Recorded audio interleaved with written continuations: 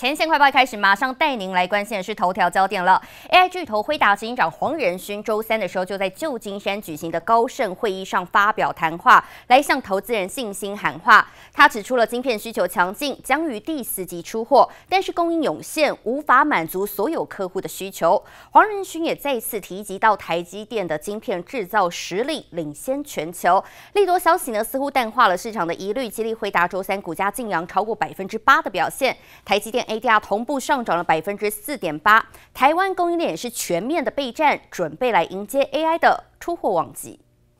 AI 浪潮席卷全球，被视为 AI 关键推动者的辉达执行长黄仁勋在旧金山高盛技术会议上发表谈话，Blackwell 晶片状况为全场焦点。When Blackwell demand is so great that that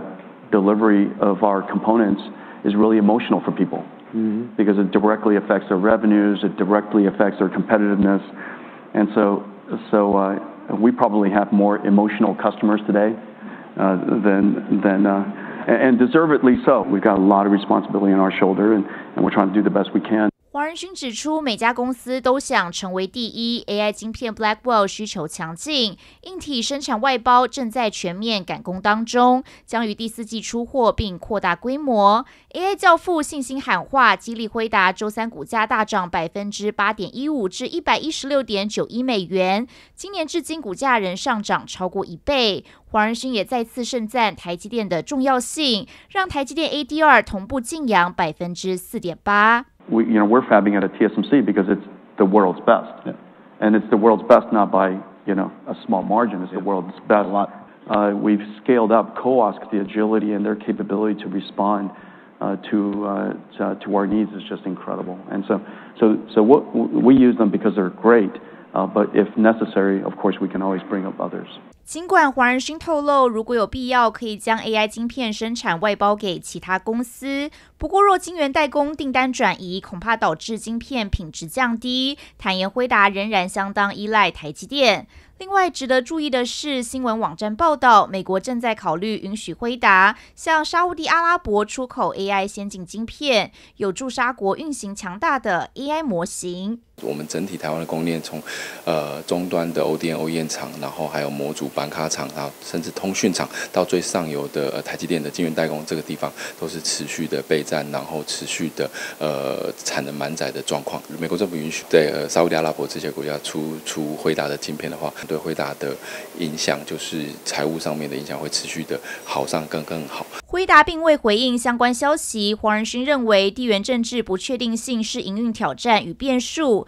但向投资人喊话，科技界最抢手产品 Blackwell 需求强劲，力拼生产，带动台股 AI 概念股一片亮红，为市场注入一剂抢新针。记者曹林陈柏成台北采访报道。台股呢今天上演了大反攻，由全网台积电领军，再次上演的是秒填席，中场上涨了百分之四点八，收在九百四十块钱。电子全指股顺势走高，红海、联发科上涨了百分之四，AI 族群更是涨势如虹，高价股也都表现亮眼。伟影呢冲冲上了涨停板，收在了一千八百一十五元。光信、华视、新 KY 大涨超过半根停板。加权指数呢受到激励，中场上涨六百二十二点，创下了史上第四大的涨点记录，收在是两万一千六百五十三点，一举突破了五日线跟十日线，成交金额呢则是来到了三千零八十亿元。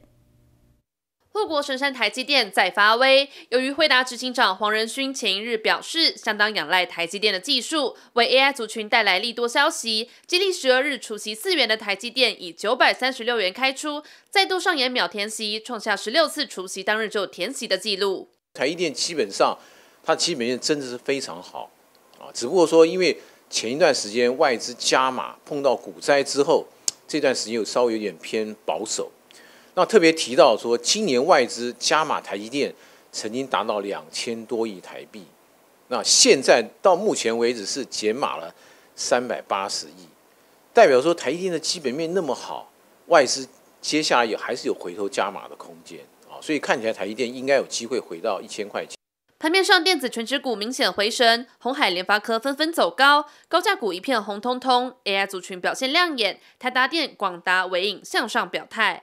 电子族群的一个领军之下，量能扩增，其实我们可以看到这样的一个迹象，其实散布到其他的族群都有一些表现，包含在船产、金融，其实都会有一些啊整个上攻的力道出现。所以啊，假设说我们量能哦可以从三千五百亿慢慢回升到四千亿以上的话，我觉得有机会在十月份再次看到一个百花齐放这样的状况出现。专家认为，台股仍然处于整理的格局，然而震荡的走势正渐渐进入尾声。美国降息之后，有望为股市带来利多，加上 AI 族群始终是主流趋势，如果外资持续回头加码，未来仍有机会继续反弹。记者姚连春文杰台北采访报道。汇市方面呢，周三美元对日元汇率站上了一百四十元大关，日元的汇价创下了今年以来的新高之后，目前回到了一百四十二附近。日央呢也是再度放鹰，强调必须要在明年底之前将利率提高到至少百分之一，这是日本央行决策成员首次公开利率目标。对此，专家认为有一百四十是日元对美元汇率的一个关键多空点位，短线上的日元的走势还是会受到美元影响。甜甜价的日元以后还换得到吗？周三日元对美元汇率写下今年以来的最高价之后，周四稍作休息。回顾今年日元对美元的走势，年初时同样来到一百四十元的高点之后震荡走贬。专家指出，短线上日元对美元汇率能否突破一百四十元，将会决定后续的升值力道，并且美元与日元的汇率相对关系仍然很大。那我觉得会是一个重要的关键多空点，因为它近期大概都在一四零到一五零之间震荡。那你可以说，如果突破一四零再往下走，那日币会有一段技术面的升值力道表现。短线上可能还是以美元本身的强弱来决定日币的趋势。根据彭博报道指出，日央官员认为没有必要在下周升息。不过周四，另一位日央官员再度放音，必须在年底之前将利率提高到至少百分之一。更进一步指出，必须在二零二五年年底左右把利率提高到对经济中立的水准。目前市场频频猜测日本央行升息的时机点，同时大摩也示警，若日元走强，套利交易的风暴恐怕再次上演。专家则是认为，近期日央不断向市场放出信号，就是避免再度突袭式升息，造成如七月时一般的市场动荡。日本其实它有很严重的这个债务问题，好，那再加上它非常依赖出口，好，所以说它的这个利率正常化可能不能。过度照进啊，那我现在看起来比较有可能是明年年初啊，可能会啊做一些升息的动作啊。专家认为，评估日本经济体质，日央大几率会放慢升息的步调。但是由于联准会大幅降息的几率不高，就算日央升息之后，美日利差仍然很大。在美元弱势之下，日元能否维持强势，仍然要综合日本各项经济指标来判断。记者赖贝金、严连凯台北采访报道。离台北呢仅一桥之隔的新北第一环，现在也都几乎淡黄化，越来越多行政区房价的天花板逼近了三位数。实价登录显示了三重三河路三段的预售案，单价呢来到了每平九十八点一万元，创下了区域史上新高。要跟永和新店人口争抢的世纪板桥之后，新北第二个百万房价的行政区行列。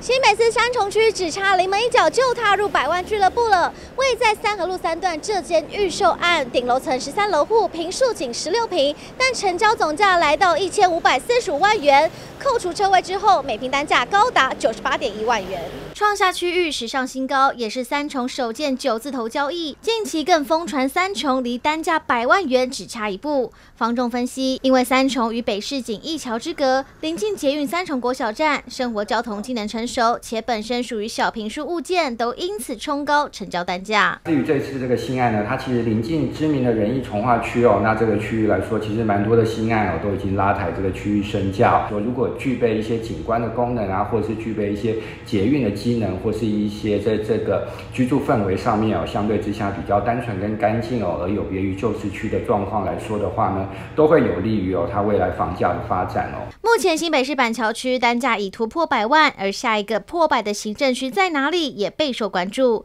专家就点名永和、新店、三重、林口最有可能，目前都已经出现单价九字头的记录。如果说是新北市有一些机能还不错的地带哦，它可能享有一些生活的宜居性啊，乃至于它有一些名气哦，甚至它已经是一些高价的聚落。可能就会有价码上面呢超越台北市的情况。预售案价格创新高，也带动房市三税表现，土增税、契税、个人合一税等房市三税八月税收都呈现年增格局。其中房地合一税八月实征新台币七十一点五亿元，创历年同月新高，年增高达八成二，创十三红纪录。不难看出，今年售屋的屋主房价增值可观，也缴纳了高额的房地合一税。不过，中介业者发现房市涨幅已经逐渐趋缓。在政府打炒房、供料双涨等议题，都已经让业者放慢扩张脚步。记者唐佳怡、方少成台北仓报道。